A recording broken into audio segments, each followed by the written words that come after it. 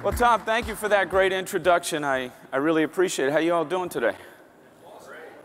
Okay, so I'm going to talk to you a little bit about my journey from the corner store to the corner office.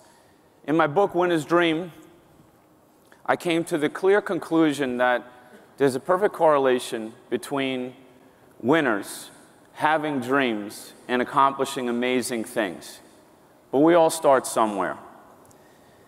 I traded in three part-time jobs to be a teenage entrepreneur running a delicatessen in Amityville, Long Island. Doesn't that sound exciting?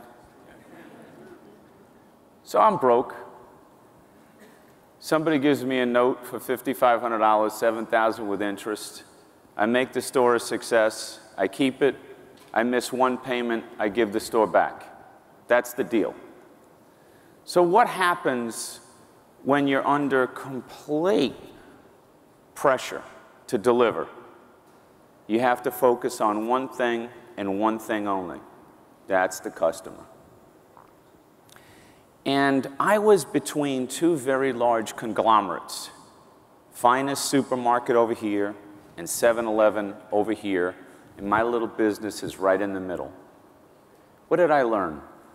I learned that the little one has to do what the big one is either structurally unable to do or simply unwilling to do because they're lazy.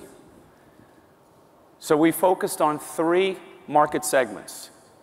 One was senior citizens. What do we learn about senior citizens? They don't want to leave the house, so we deliver. Then there were the blue collar workers like my dad, flush rich on Friday night and dead broke by Sunday morning we give them credit. And they keep coming back. But the hard part was getting those high school kids to walk a block and a half past 7 Eleven to come to my little store. After all, why would they? One day, I said, let me go down there to 7 Eleven and see what's going on. I go down to the store. There's 40 young people lined up outside the store and only four inside. I said to one of the people on the line, why are you all out here? There's a big store in there and you're online. And they're like, well, they think we're going to take things. I said, don't worry about all that. Follow me down to my store. And I brought them down 40 at a time. I had a little trick though. I had built a video game room on the side of that store with asteroids and Pac-Man. You remember those video games? Pluck those quarters in. Oh, yeah. So I let them in 40 at a time. And at the end of a long day, one of the young people said to me, Bill, when we want to be treated well, have good food, and play video games, we come to your store. And when we want to steal stuff, we go to 7 Eleven. it's amazing. They talk a lot about CRM and fancy technologies. You know what my CRM system was? It was a window. And I could see my customers getting off of buses, getting out of cars, walk into my store. And I knew everything about the 500 people that came in that store every day. And I knew that without them returning, because they were very satisfied, the probability of my little business succeeding wasn't very high at all. See, the customer and the customer alone determines whether we win or we lose. You know, you can't lock in on one dream. That was just the beginning. Get me through college, contribute a little bit to my family. But I really wanted to be somebody. I wanted to be in the big city of Manhattan, working in a skyscraper, wearing a suit and tie, climbing the ladder, like many of you. One day, we're living in a 1,000 square foot home, my family, in Amityville, Long Island. You ever hear Amityville, Long Island? Yeah, the horror, you got it. On the Great South Bay. Every time there was a northeast storm, the house would flood.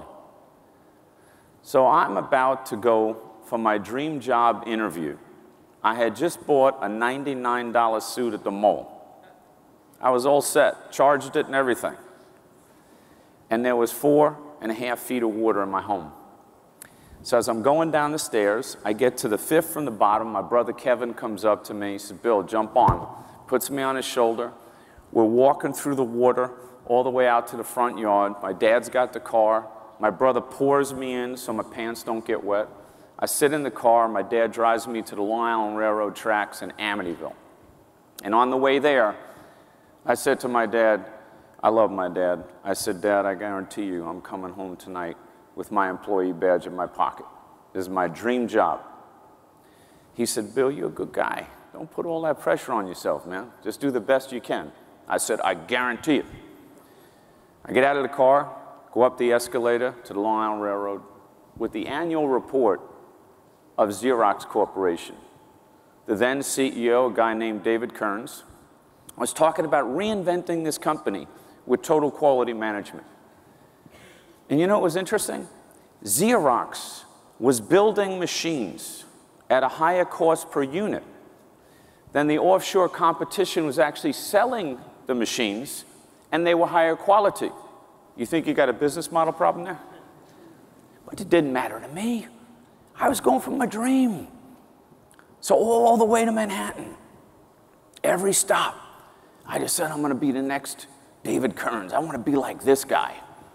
I get out of the train, make it up to top of the sixes in Manhattan. And now I'm in the hiring center on the top floor, looking around.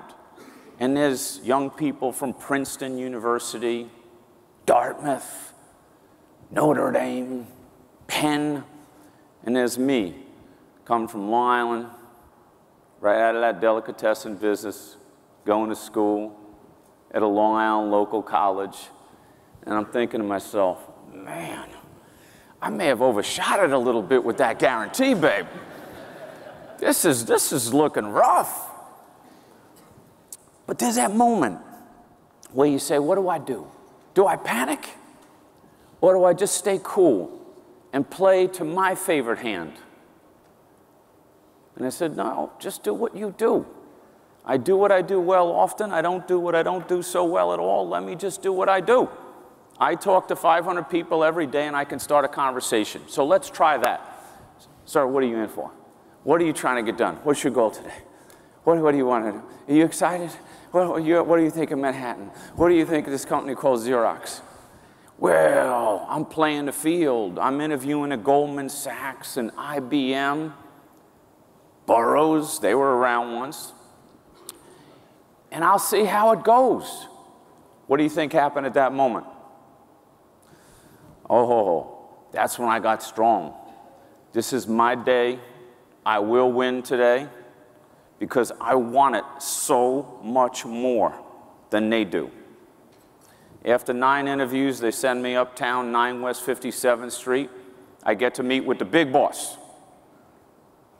I'm sitting on a bench outside in the reception area next to another young fella. He's waiting to get in for an interview, too.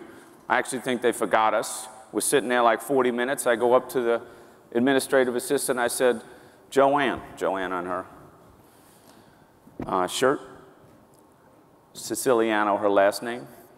Joanne, please let Mr. Fullwood know I'm here.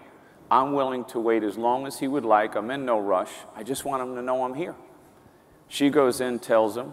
They immediately invite me into his office. Now, I'm going down the hall, ready to go see Mr. Fullwood, the big boss. 9 West 57th Street, 38th floor. His office overlooks Central Park. At the hearth of that doorstep, as I step in, I realize I am not in a job interview.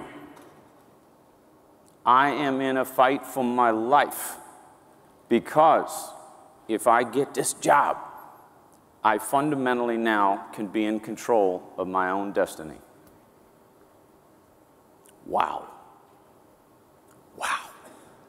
I'm looking over his shoulder, I see the park. I'm like, man, this is heaven. We have this great meeting. At the end of the meeting, he said to me, Bill, I really enjoyed the conversation today. And Bill, Yes, Mr. Ford? The HR department will be getting in touch with you in the next couple of weeks. Mr. Fullwood, I don't think you completely understand the situation, sir. He looks at me, kind of tilts his head, and I said, I haven't broken a promise to my father in 21 years. And I guaranteed him I'd have my employee badge in my pocket tonight when I get back to Amityville, Long Island. Silence. Tilts his head a little more, looks at me seriously. Bill McDermott, as long as you have not committed any crimes, you're hired. And I said, Well, Mr. Fullwood, I certainly haven't committed any crimes, so does that mean I'm hired? He goes, Yes, it does. So I get up from my seat with such passion. I walk around, I grab him, I put him in a bear hug, and I'm kind of twisting him and twirling him and everything. And then I finally put him back in his chair safely.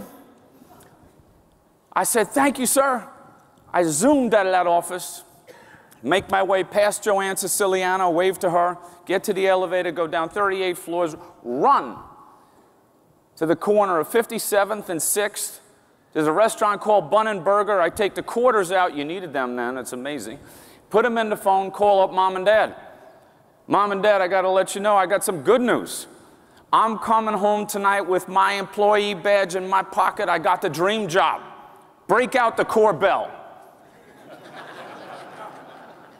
Let me tell you something. Korbel is hot stuff if you came from Amityville, Island, man. So that's one thing getting the job. Wanting it more. Going for dreams. But then when you get the job, you got to do something with it. So they had very competitive training programs then, and it was important to graduate at the top of your class because then you get the best territory.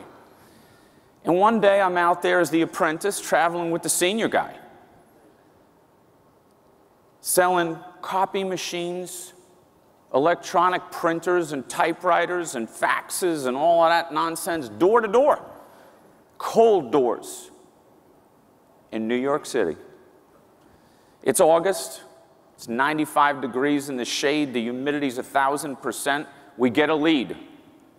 I got a copy machine on my back.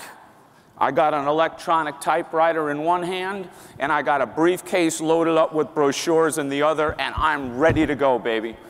The lead comes in. We zoom uptown, get to a brownstone, four flights up, no elevator. He said, Come on, kid, let's go. I go up all the steps, get to the hearth of the door. It's open, and I see this amazing woman, Chanel suit, decked out, has to be the CEO. No doubt in my mind as the sweat trickles down my cheek. And then guess what happens? A really stunning event. A giant cat jumps on my shoulder and starts putting these claws deeply through my $99 suit into my skin. And I'm like, damn, I'm young enough that the skin's gonna heal, but I'm not so sure about this suit anymore. So I put the briefcase down and the electronic typewriter copier's still there because it's in one of those. And I hold the cat. Good kitty. Sweet kitty. Love the kitty woman looks at me and she said, Wow, you really love animals, don't you? And I said, Especially cats. and I'll tell you, Garfield has nothing on this cat, no way. Good kitty. So we get in this whole conversation about cats and dogs and life experiences, and the senior guy says to me, hey, kid, know, come on, man. It's time to plug in the machines and do your demo. And I look at her and I said, hey, you know, I could do that, but, you know, a copy machine, you plug it in the wall, it's got a green button, it says start, you press it, makes a copy. And this electronic typewriter, you plug it in the wall, and it's a lot like that old one you got over there, only it's faster because it's electronic. Now, do you need to see a demonstration? And she says, Of course not, honey, I'll take two. We get downstairs. I'm still carrying all the stuff now. He gets the orders, and he goes, Bill McDermott, you're either going to be the CEO of Xerox or you're going to jail, man. and I said, What's with you people in the jail thing, you know? now, years later, this is not published in the book, by the way. Years later, he calls me up. There was a sting operation, and he was arrested at JD's bar in Manhattan. He wanted me to be a character witness, but I never tell that story. But it's a true story.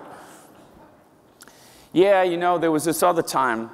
I go to Puerto Rico, and, you know, there's these people in the world that everything has to be just right for them. You know, I get the job, I get the car, I get the living conditions, I get enough money, just for me, perfect for me.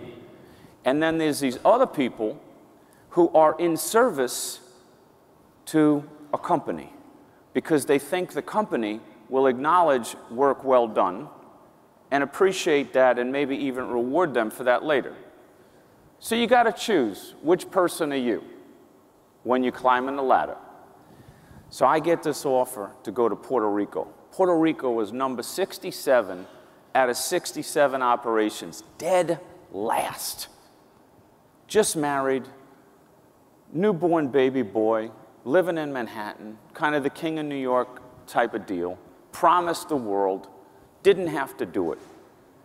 But the big boss asked me to go straighten the place out. Long story short, I take the challenge. Go to Puerto Rico. Unbelievable. For two weeks, I did nothing but listen to the people. And what do you think the people said to me? The people said, We need a vision. Where are we going? We want the water back. The other guy's a cost cutter and he took the water and the donuts. Brilliant.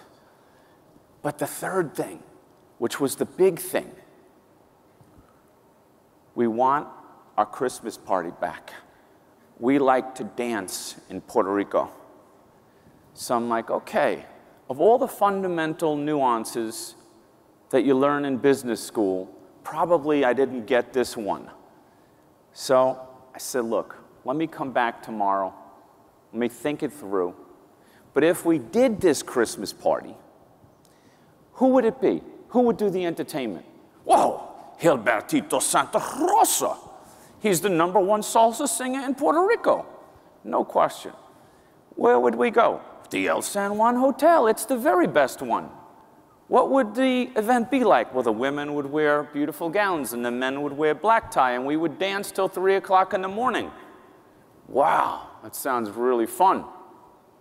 Come back to the meeting the next day, started out in Spanish. Spanish is terrible. People laugh every 10 word. I finally said, let me switch to English for the benefit of my gringo American friends. They laugh again. And I said, look, I got good news for you. Yeah, yeah.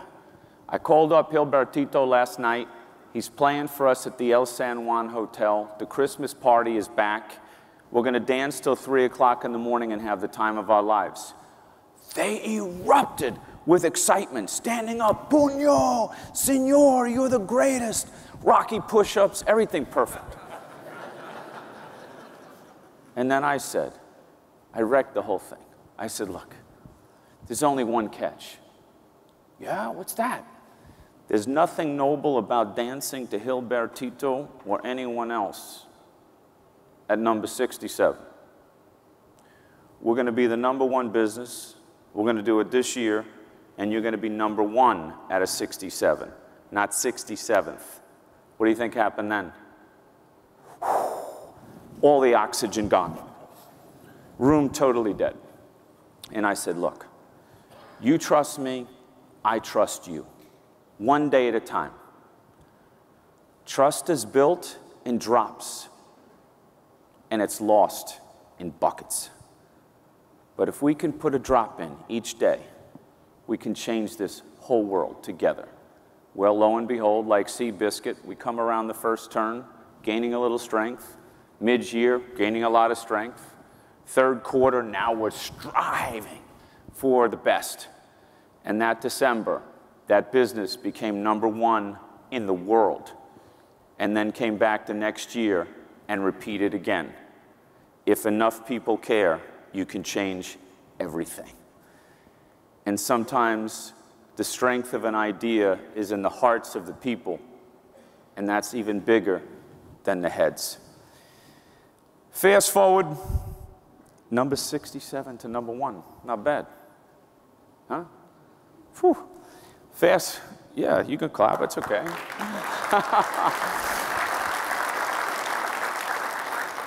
Fast forward, let's go big picture now. Bill McDermott, CEO, SAP. You know, you've gone from that corner store to the corner office. You are there now. What's the common themes? Where are we now? Well, you have to have a vision. The vision has to be there. And our vision was all built on purpose. As Tom said, to help the world run better and improve people's lives. Why the world run better? Very authentic to what we do with our software. Improve people's lives. If it didn't help the economy, if it didn't help the environment, if it didn't help society in some way, probably it's not hitting the purpose button. And we need to be purpose driven. That's what young people want, that's what our customers want, and that's what the world expects from us. And why is that so important? Well, fundamentally, we wanted to get the company younger by one year every year.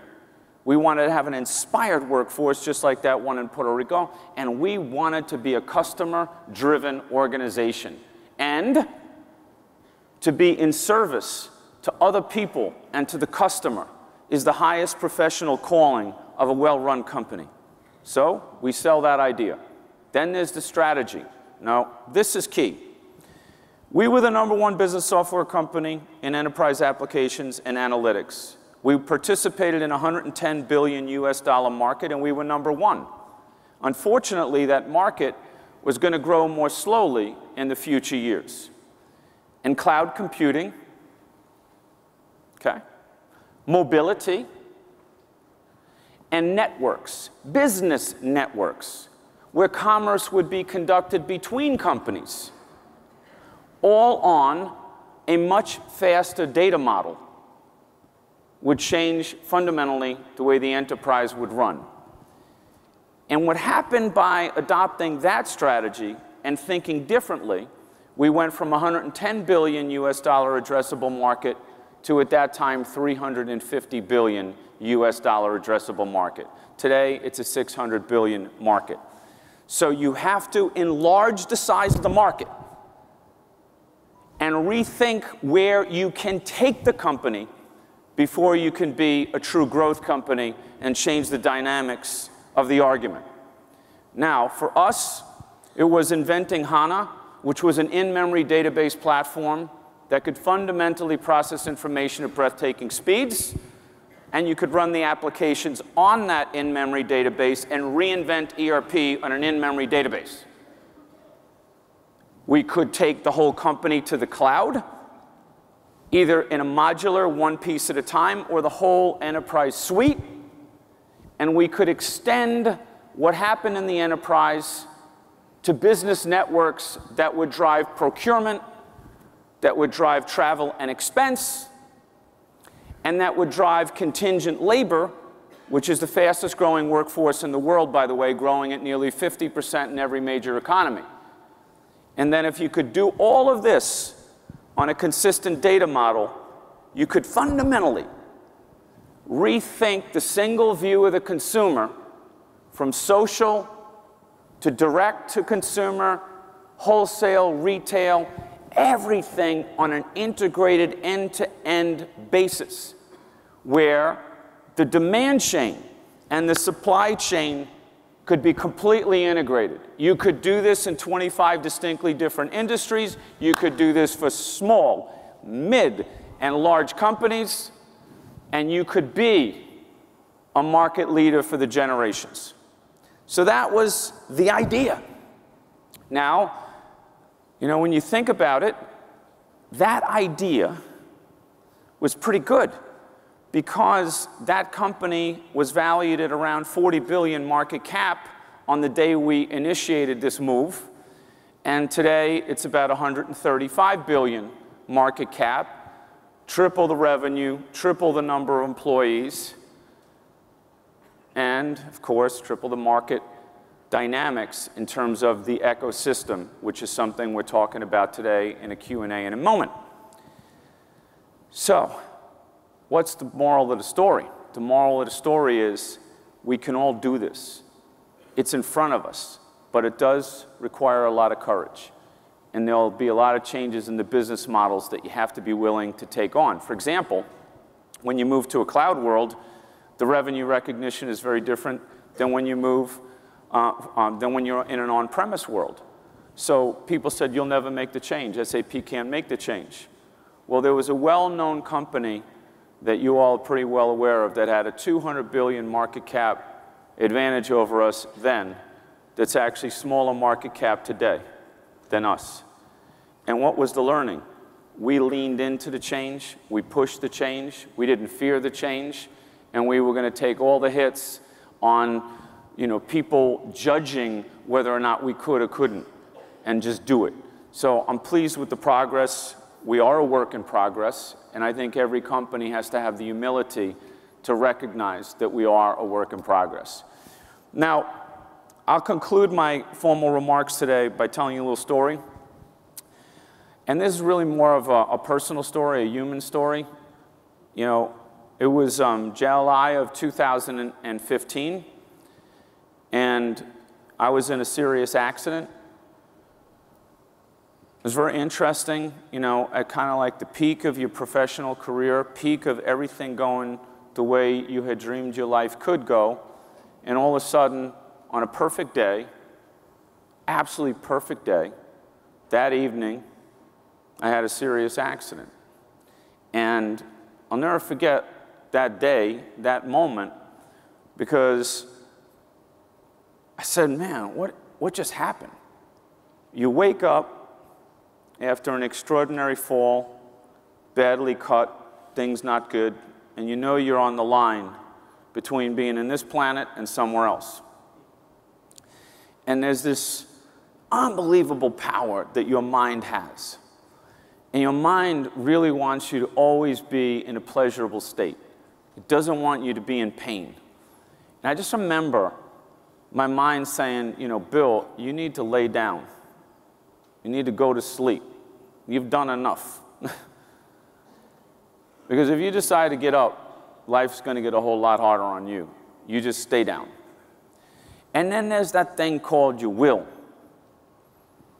And that will finds a way. And my will said, You have a beautiful family, you have a lot of great friends. And at that time, we had around 80,000 people that count on you and you count on them. You just got to find a way to get up, to get out, and to get on with it. And I could just remember crawling, feeling a doorknob, and crawling out about 100 feet to the hearth of a driveway, laying half in the driveway and half in the street, saying, Please call 911 and somebody hearing me. And the moral of the story is we're all going to have our, our thunderbolts. And most people have had thunderbolts far worse than mine. But what I learned is people will never remember how you got knocked down, but they will never forget you for how you get back up and you just keep coming and coming and coming. That's what winners do. Winners dream and winners rise. Thank you very, very much for your time and attention. Thank you. Thank you. Thank you. Tom, thank you, man. Thank you. Thank you.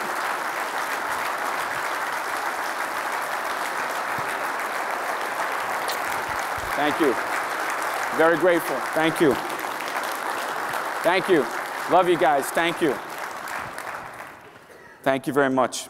Bill, it's always great to hear your, your stories, and it's amazing how life lessons from when you're a child as a paper boy all the way through, uh, you know, growing up can, can really make you the person you are and the business person you are. So uh, congratulations on all that and sharing some of your stories. Thank you, Tom. Just want to spend a few minutes with you on, on, a, on a, couple topics that I think are, are of interest to everybody. Sure. But first, uh, recent earnings announcement. Uh, you must be very proud, an incredible quarter. Uh, Bill said that this is the first time in uh, SAP history cloud revenue exceeded 1 billion euros in the and, quarter, in, in the quarter and predicted that uh, cloud revenue will exceed traditional software licensing for the first time ever. Correct. And that's largely because of the strength of your uh, cloud platform in the enterprise. So Thank congratulations. You. Thank you, Tom. And uh, you know, you talked about the customer, and but talk to, what's driving that that momentum? I mean, you must be really proud. But what, where does it go, and how do you do it? It's, it's really an innovation-led agenda, and you know, the idea of this customer and for significant executives like yourselves is to constantly be humble enough to see the world through the eyes of the customer. Mm-hmm. And the world that we see right now is a world where every CEO I talk to, every leader of business, every IT executive, they want to get a handle on that single view of that consumer. We're in a customer driven growth revolution. Mm-hmm. And what a lot of companies are learning right now is they've worked a lot on the front end CRM system. Right. And they're working on a first generation SaaS application in most cases. They're starting to see some of the not so pretty um, vendor behaviors with raising prices and not necessarily giving them enough value. That's one issue. Right. The second issue, they're saying, even if I do well on the front end, if I don't fulfill in the supply chain on the back end by building the right product at the right price and geospatially giving it to the consumer in the right location at the right time because they're on the move and making sure that that loyalty effect is earned with every transaction, I'm not going to be successful. And there's one simple formula here, guys. A 5% improvement, okay, in customer retention is equivalent to a 95% improvement in profit. Right. So there, this value chain has to now be on a new generation platform where the data, the end-to-end process, and the immense level of empathy for a customer that's on the move is built into the business model. Right. And that's what we're focused on. Yeah, it's, it's the right focus. I think we would all agree that customer, you're on the European Roundtable of Industrialists yeah. in the US Business Council, and I think uh, all CEOs share a common agenda, right? It's all, all about the customer, so it's, that's what we're all talking about. Yeah, and you know, it, it's so funny, Tom. Like, I go, I go back in my life experiences to the early days. And I think what happens to all of us is we do a lot. We get big. We, we, we, we get uh, you know, more experience and we think we get smarter and all this other stuff. But the reason that I think the humility of going back to the beginning is necessary, really necessary, right. because we have to wear the jacket. You know, we have to be the ones that drive the change. And the change doesn't get driven unless the empathy mm. is built into the equation. And the empathy has to start at the top. Right. And, and one of your, your drivers of, of growth is, is clearly the capabilities of your product suites. Right. But you've referred to it as the intelligent enterprise. And, and CIOs like myself, who are not only your customer, but I'm the end customer for a lot of people in the room as well. Right. So you'll hear us talk about uh, solutions that cross business units. We want that holistic view, that data driven insights. Right. And, and some of that's driven by innovation and analytics and things like that. But talk to us quickly about what the intelligent enterprise looks like for you and how does that further drive that strategy for SAP? Sure. So, conservatively, when you do the research, people are talking about a 4 trillion US dollar market opportunity for AI driven business between now and 2025. So the debate is, in some circles, the social debate is will AI take away jobs? Will AI create jobs? Mm -hmm. On the short run of looking at this, AI is a net job improver by a few million jobs in the next few years because the work will change, but there'll be more work because there will be more productivity in the companies that do this right. So I just wanted to put a little bit of an announcement on, on that and do the research and how that touches your business and how you comport that to your customers. But I'll give you a little tip. The world is sensitive to this topic, mm -hmm. and my recommendation is that, again, you show tremendous empathy for this topic. And basically, think about it this way Isn't it about time the companies started to work for the humans? So the humans could have a better life, and the humans could work on things that are knowledge based and that really takes advantage of the human dynamic called judgment, which is something that no computer has the way a human has it because they're not empathetic like we are. And that to me is a very important mm -hmm. consideration. Now, in terms of the technology piece, you need a common data model. The problem is with these companies, the data is everywhere. So it's a mess. And every time you want to fulfill and achieve that single view vision, mm -hmm. you get screwed up because well, she's got the mobile, we got her profile in one database, but not the other database, and if she's shopping here and we acquired that, we don't know what to do, and blah, blah, blah. That never happens anywhere here. Right. But hypothetically. Exactly. So here's one of the really big inventions that SAP will announce at Sapphire. I give you early preview today. This is called like, you know, secrets. Um, shh. I know nobody's going to repeat it. Nobody's even going to tell a friend. I believe me, it won't happen, Tom. Few, few but, tweeters out here. So here's the idea. What if, and incidentally, I, I, this is so funny. I go to an investor conference in New York, right? They say to me, well, Bill, you got S4 HANA, which is this unbelievable intelligent enterprise suite. So think of ERP built on an in-memory database, HANA, fully integrated and designed and they say, well, Bill, what, what databases does HANA, S4 HANA run on? And I said to myself, is this a trick question? And they said, well, what do you mean? S4 HANA, okay? There's only one database, it's HANA. And we engineered it to completely integrate with an ERP system. So you'd have one common data model across an enterprise. But here's the issue. You say, but I do business with hyperscalers, I have data that's all over the place, and I still like your vision, but what are you going to do with the data that's not in HANA? Are you going to make me put all the data in HANA before you can give me my nirvana? Right. HANA Nirvana. HANA, I like that. Um, HANA Nirvana. And I said, no, I want, you to, I want you to be in a state of nirvana all the time. So what we're going to do is HANA is going to take the data source, not move the data analyze it without moving it, which not only gives you speed, but it also gives you security. Yep. Most of these other database systems, you're moving the data, analyzing the data, and putting it back. We go get the data from any source, transact the data without moving it, totally secure, and we give you the end-to-end -end process. The announcement will be something called the Data Management Suite, like which is based on HANA, and this particular application is called the Data Hub, where HANA becomes the control tower for the enterprise in getting the data, moving it into the in-memory processing, speed, and then executing the transaction. No movement, full security, no speed degradation. Change the game. Very, very key. That sounds very cool. Now, the other thing is this. I've been in enough meetings with very big business cards like yourself, Tom, and they'll tell me, Bill, I'm paying too much, I'm getting too little value, and it doesn't integrate. Okay?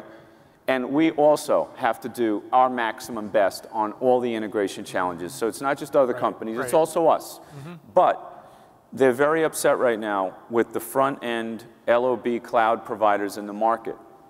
And they're feeling the old tactics of the enterprise software uh, of the 90s. So, to which I reply omni-channel, e commerce, sales, marketing, field service, all on HANA, all fully integrated into the back end core systems. Sounds good. Let me, let me piggyback on that. One, one final question, Bill, sure. for, uh, that I think is really relevant for this audience. You, you've done a great job in the corporations, the enterprise, if you will. Right. The, um, the architecture of S4HANA and the modularization of it right. is allowing small and mid-sized businesses yes. to, to better leverage that, right? But you've got competitors still out there looming. You've got software as a service cloud native companies. You've right. got a, a, resurgent IBM, a growing Google, and others out there. Um, AWS powerhouse. Any advice to this audience, full of distributors, resellers, channel partners, Ingram Micro employees, on how do we help you or how do you help us get more SAP out there in the marketplace for some of these SMB customers? Sure. So let me spend just one second on the business network because it never gets enough attention, and I think it can really help a lot of businesses make some money. Mm-hmm. So if you think about the business network, which is a public multi-tenant cloud application, all in an open global network. So let's take procurement as an example. Okay. There's a CFO of a company called Mediafly who educated me on this. He said, Bill, I use SAP Ariba not only to drive my procurement um, business within my company so I spend less and get more, but I use it as a front end CRM system. How do you do that, John? Well, you have three and a half million suppliers in the Ariba network. And once I'm in the network, I'm now upselling and cross-selling everything I have in the network, and I use it as a front-end CRM system to get to the Fortune 50, which I could have never mm-hmm. done without right, right. Ariba. Think about that. The second thing which I think is interesting is Concur, travel and expense. Mm-hmm. So you think about ground, air, hotel, food, entertainment. The magic of this thing is the employee is on the move, and all those things are happening on the device, but then it gets updated in an ERP system. So companies love that. But here, you could be in that network and you could be selling in to that network depending on what your business model is. And then the other one that I, um, and incidentally, that Ariba network, that Concur network, when you add them up, it's over two trillion, two trillion dollars that are flowing through those networks. So when you think about SAP, Amazon, Alibaba, eBay, combine them all. It's yep. smaller than SAP. Now, contingent labor, this is a big one whether it's to help you run your business better or to get you in the network. The fastest growing job opportunity, especially for millennials, will be in temporary work, contract work, three months, six months, a year. You have to source these people, you have to put them into the right initiative, you have to make sure they're secure, and you have to manage that headcount with your full-time equivalents so you know your cost base at any one time. You ramp it up, you ramp it down. This is all done for you with Fieldglass. I kindly mention this to you because I don't think the ecosystem has fully been initiated right. in our networks, and I want you to make money and create wealth um, for your companies, but also success for your customers, and we're very open to all of you. Now, as it relates to, yeah, we know SAP is cool for the big ones, but what about the mid and the small ones? Couple things. One, SAP has business by design, um, which is a cloud multi-tenant um, system, ERP system. SAP has Business One, now on HANA, which is a small, medium-sized business system, and this is obviously only sold through an indirect network. So I hope that you're getting your fair share of that business. Mm -hmm. Now, the S4 HANA conversation that we're having today, it is also for small and mid. Why is this? Because it is completely modular. So you might have companies out there that want to do business with, uh, with you on a cloud finance application or a HCM application or potentially some of the network applications, or potentially a CRM application, All of this is modular. It can be done in pieces or it can be done as a suite. And I also will tell you the HANA database itself, it's an amazing opportunity because we started out marketing it as a runtime license with our ERP system. But we're moving way beyond that now in a full use database license. We have 20,000 companies in the world, by the way, on HANA right now. Mm-hmm. So if you want to be with us in HANA, you might say, yeah, engineering. You might say construction. You might say geospatial. You might have very unique applications that you're trying to build out to serve your customers. So think of us on the data layer, think of us on the application layer, and think of us on the network layer, and think of everything we do in the cloud. That doesn't mean we don't do on-premise or own data center. It just means that we engineered for the cloud, because anything engineered for the cloud can also run in someone's own data center. That's the reality, and it's going to be a hybrid world for a long time, so we're leaning into that. So, join up. Um, work with us. We have Arlen Shenkman here, Okay. who's running our whole partner channel, Arlen Shenkman. Um, you now know me. Hopefully, you feel comfortable in talking to me. I'm pretty approachable. Bill.McDermott at sap.com. And we want to work with you. And incidentally, you mentioned um, IBM, uh, some other companies. Our approach to this whole cloud business is to be open. So SAP can do it all in the SAP cloud. But we recognize the hyperscalers, whether it's Azure, it's Amazon, it's Google Cloud Platform, it's HP, it's Dell, it's IBM. They all have different motions in how they serve their customers in the cloud. Our job is to be the value add Yep. and not to inhibit customer choice. We lean into customer choice. And I think that's very different because most of the big software companies in our space, they want to own the whole wallet share thing. Right. To which I reply, ridiculous. I want to own customer satisfaction, repeat business, and loyalty. I want to think of the customer with the same humble roots as I had them in the delicatessen. I need you to come back. Right. If you don't come back, Right. no hits, no runs, Right. no errors. We're done. Right. And as a customer, I can say that Bill walks the talk. And uh, you, uh, you heard a lot from Bill today about uh, people, leadership, innovation, but the customer theme was, was consistent. I'd love to spend another couple hours up here talking to you. Unfortunately, we have to get some lunch. Yes. But I, I thank you for your time. Hopefully, uh, this was some great insight. I, um, I think that uh, Bill's journey from, um, from corner store to, to CEO is a fabulous one. And uh, we're honored to have you, Bill, and I look Thank forward to working with you going forward. Thank you, Let's Tom. hear it for Bill Thanks, everybody. Thank you very much. Thank you. Thanks a lot, Tom.